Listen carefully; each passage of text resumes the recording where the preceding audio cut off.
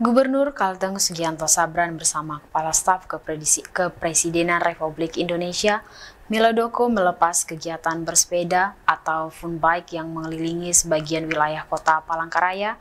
Start Goes dimulai dari bundaran besar depan Rujab Gubernur pada Sabtu 20 Agustus 2022. Goes ini diikuti Sekretaris Daerah Provinsi Kalimantan Tengah Nur Yakin, Forkopimda Kalteng, kepala perangkat daerah dan beberapa komunitas lainnya, beserta masyarakat umum juga top rider nasional.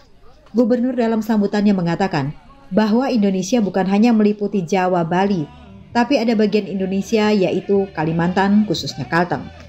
Lebih lanjut, Gubernur berharap pada gelaran UCI MCB World Cup pada tanggal 28 Agustus 2022, pembalap-pembalap Nusantara lebih mampu bersaing dan berkompetisi dengan pembalap 32 negara lainnya.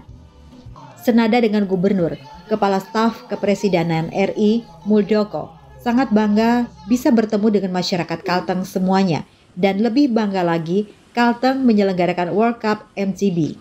Muldoko berpesan kepada masyarakat Kalteng untuk menunjukkan kepada dunia bahwa Indonesia bukan hanya Bali, Jakarta, tetapi Kalteng bisa menyajikan yang terbaik. Dari kota Palangkaraya, Wardo Ari Raketno melaporkan.